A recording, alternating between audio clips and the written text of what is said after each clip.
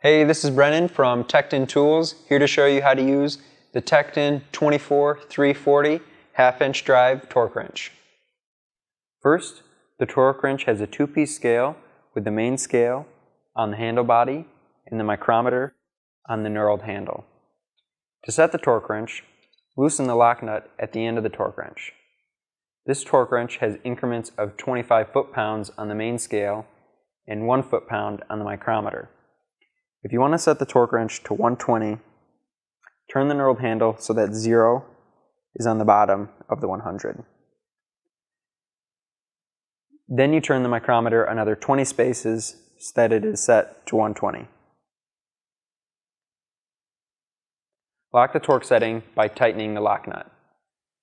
Then you are ready to go. It is important to use the torque wrench slowly and steady so you not miss the torque setting you want.